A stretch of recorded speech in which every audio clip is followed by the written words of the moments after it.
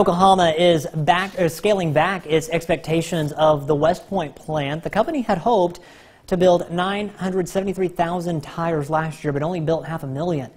Industry Journal Tire Business cites a stock filing which details why the plant is not meeting goals. The main reason pointed out is a high turnover rate and not having enough trained applicants to meet production demands. Yokohama is dropping its production goals for West Point and is now shooting to build 840,000 tires by the year 2021.